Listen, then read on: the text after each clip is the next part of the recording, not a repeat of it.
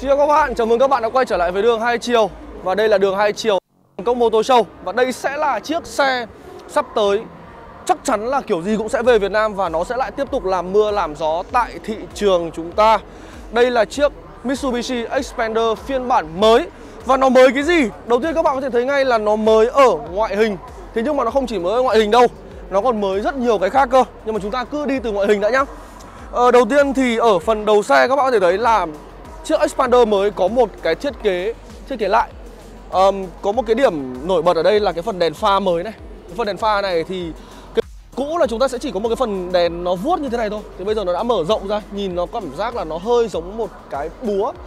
Hay là các bạn liên tưởng thành cái gì cũng được nhưng mà nó là một cái thiết kế mới và phần đèn này nhìn nó rộng hơn. Cũng như là cái giải định vị này cũng phân tầng ra nhìn nó đẹp mắt hơn cảm giác là 3D Ờ, mặt ca lăng thì thực ra là về cơ bản thì nó vẫn sẽ là cái ngôn ngữ uh, Dynamic Shield. Uh, Ca lăng thì sẽ được thiết kế lại một xíu xíu thôi, nhỏ nhỏ. Nhưng mà về tổng thể thì khi mà chúng ta nhìn vào cái phần đầu xe của Expander mới Nhìn nó góc cạnh hơn và nhìn nó khỏe hơn. Đó, mâm xe của Expander phiên bản này nó sẽ là mâm 17 inch. Thực ra đây là cái phiên bản mà chúng ta đang xem ở Thái Lan thì mâm nó sẽ là 17 inch và thực sự là với một cái mâm 17 inch như này thì nhìn tổng thể thiết kế của chiếc xe này nhìn nó đẹp hơn rất là nhiều. Nó thật là như thế. Thực ra Expander cũ mình thấy nó cũng không xấu đâu. Nhìn nó vẫn đẹp, nó vẫn có góc cạnh. Thế nhưng mà điểm chết người nhất là cái mâm 15 inch. Thì bây giờ với cái mâm 17 inch này nhìn Expander nhìn nó già dặn, nhìn nó dày dặn và nhìn nó khỏe rất là nhiều. Tiếp theo đến cái phần đuôi xe Thực ra cái chiếc xe mà bọn mình đang quay ở đây Họ đang demo để họ chất đồ lên đằng sau ấy cho nên là chúng ta sẽ không thể nào nhìn được cái um, đèn. Lát nữa thì mình sẽ tìm cách mình quay cái phần đèn đuôi xe để cho các bạn xem sau. Thế nhưng mà chúng ta có thể nhìn được cái phần cốp. Chúng ta có thể nhìn được cái phần cốp. Khi mà họ đã demo những cái đồ đạc chất lên như thế này Ví dụ là một gia đình 5 người. Đó và gập hai cái hàng à, hai cái ghế đằng sau đi thì chúng ta có thể để đồ như thế này cơ mà. Các bạn đi dã ngoại thoải mái xả láng các bạn mang lều các bạn mang chăn gối rồi đồ ăn thức uống các thứ đầy đủ. Thì đây là một cái chiếc xe sẽ làm được cái điều đấy. Rất to. Um, đây là một cái mẫu xe MPV bán chạy nhất Việt Nam vào thời điểm hiện tại. Và mình nghĩ là với một cái thiết kế mới như này thì nó sẽ còn bán chạy hơn nữa cơ. Ở trong thời gian tới nếu như mà nó về Việt Nam chắc chắn là như vậy. Bây giờ chúng ta cũng sẽ có rất là nhiều sự cạnh tranh. Rồi chúng ta có Veloz của Toyota cũng là một cái đối thủ cạnh tranh cũng rất là đáng kể ở đây rồi bây giờ đi vào trong nội thất xem xem là cái chiếc xe mới này thì nội thất nó có mới không nhá.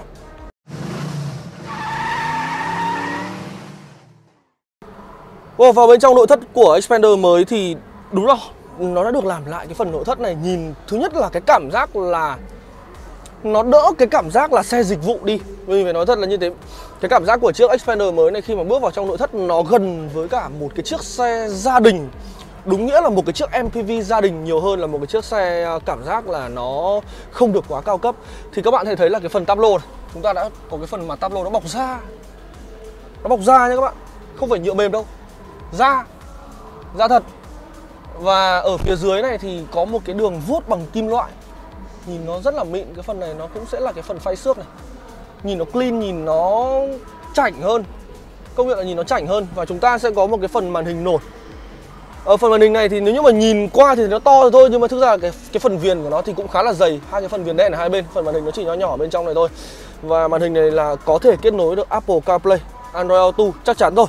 Đi xuống phía dưới cái phần điều khiển trung tâm này thì điều hòa làm mới này.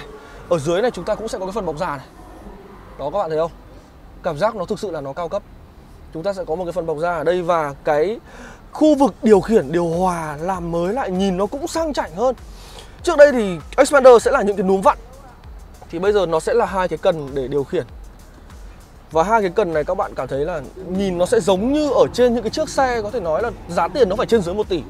Thì chúng ta mới kỳ vọng là có những cái, những cái núm điều khiển điều hòa như thế này thì ở trên Expander chúng ta sẽ có. Đó rồi những cái nút ở phía dưới cũng được làm lại cảm giác bấm chắc tay kinh khủng luôn. Đó những cái nút này cũng như vậy. Và đây nó cái phần màn hình điện tử này xe thì không bật nhưng mà cái phần màn hình điện tử này nhìn nó cũng sẽ đẹp mắt hơn ở phía dưới chúng ta sẽ có một cổng 12V, hai cổng USB nhưng mà quan trọng nhất là có thêm cả sạc không dây. Chúng ta sẽ có thêm sạc không dây ở trên chiếc Xpander. Ờ, cần số thì vẫn là cần số như vậy. Thế nhưng mà ở đây sẽ có một cái điểm mới giá trị này. Phanh tay điện tử và auto hold Xpander bây giờ đã có phanh tay điện tử và auto hold là một trang bị mà Vâng, nó cũng cao cấp. À, mình nghĩ là nếu như cái chiếc xe này khi mà nó về Việt Nam thì cái mức giá của nó có thể là sẽ bị uh, đẩy lên một chút so với cả cái mức giá hiện tại. Thế nhưng mà với những cái trang bị thêm như thế này với một cái thiết kế mới như thế này thì thực sự là mình thấy là nó nó cũng rất là ra gì và này nọ đấy. Uh, cảm giác ghế ngồi cũng rất là êm. Ghế ngồi êm thật sự luôn ghế ngồi thích cực êm lắm. Và không gian thì rộng. Cái phần vô lăng mới này thì cái phiên bản hiện tại ở Việt Nam ấy cái vô lăng của nó nhìn giống vô lăng của của Outlander. Thế nhưng mà với cái vô lăng mới đây các bạn biết mình liên tưởng đến cái gì đâu? Liên tưởng đến vô lăng của Lancer các bạn. Đúng vô lăng của Lancer Evo luôn. Và trên này thì ngoài những cái nút bấm cơ bản là chúng ta sẽ có Cruise Control. Đó. Um, Thực sự là cái không gian ở bên trong của Expander Cái khu vực khoang lái này, cái hàng ghế đầu tiên này này Là mang lại cho mình rất rất nhiều thiện cảm. Thực sự là rất nhiều thiện cảm. Um, Từ những cái trang bị này rồi uh, không gian ngồi rồi cảm giác ghế ngồi rồi chất liệu nội thất thực sự là cái phiên bản này nó nó mang lại rất là nhiều thiện cảm cho mình ấy. Có lẽ là cái thời gian tới khi mà cái chiếc xe này về Việt Nam mà nếu như mà cái phiên bản ở Việt Nam nó giống như thế này ấy thì chắc chắn là nó cũng sẽ nó cũng sẽ lại tiếp tục gặt hái được nhiều thành công ở Việt Nam. Sự thật là như thế. Um, cái không gian ở phía đằng sau của Expander thì ờ, mình cảm giác là nó cũng không không khác nhiều so với cả cái phiên bản cũ. À, có lẽ là chúng ta sẽ ờ, thôi bỏ qua cái phần đấy vì cũng không có nhiều thời gian mà đó bây giờ mình sẽ để cho các bạn xem hình ảnh về ngoại thất và nội thất của cái chiếc xe này nhé để các bạn có thể ngắm kỹ hơn à, nếu như các bạn có dự định mua xem là có nên chờ cái phiên bản mới này không hay là nên mua xe luôn nhá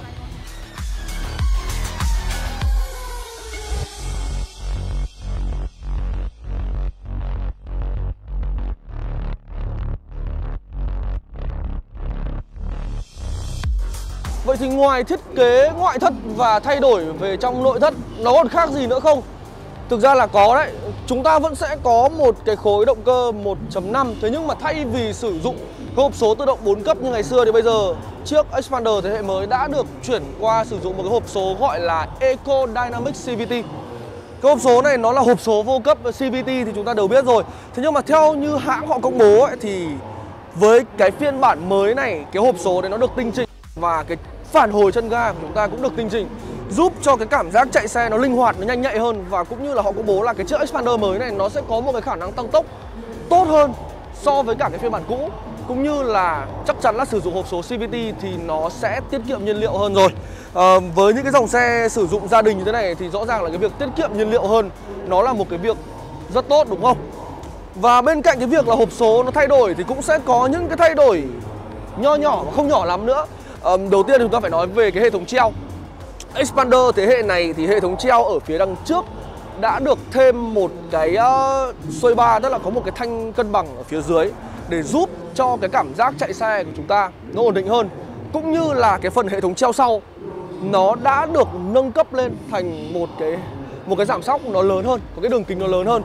Thì nó cũng sẽ đảm bảo cho cái việc là đi qua cái phần đường sóc nó sẽ êm ái và nó dễ chịu hơn uh, cho gia đình của bạn khi mà đặc biệt là khi mà chúng ta đi 7 người đó và ngoài ra thì họ cũng công bố là chiếc xe này nó sẽ có thêm những cái vật liệu cũng như là những cái trang bị để giúp cho cái khả năng cách âm ở bên trong xe nó tốt hơn tức là cảm giác ngồi trong xe nó sẽ yên tĩnh hơn. Ờ, đấy là công bố là như vậy còn có lẽ là chúng ta phải đợi đến lúc mà trải nghiệm thực tế thì mới có thể kiểm chứng được xem là liệu là nó có êm hơn hay là liệu là nó có yên tĩnh hơn so với cả phiên bản cũ không. Đó và đó là những cái thông tin sơ bộ và những cái nhìn đầu tiên của đường hai chiều về chiếc Mitsubishi Xpander phiên bản mới mình muốn gửi đến cho các bạn và hy vọng là cái phiên bản mới này nó sẽ sớm xuất hiện ở thị trường Việt Nam. Đây sẽ là một cái chiếc xe mà theo cá nhân mình thì mình thấy là nó mang lại rất là nhiều thiện cảm và nó rất rất đáng để chúng ta mong chờ đấy. Rồi, cảm ơn các bạn đã xem video. Hẹn gặp lại các bạn ở những video những chiếc xe tiếp theo tại Bangkok Motor Show. Bye bye.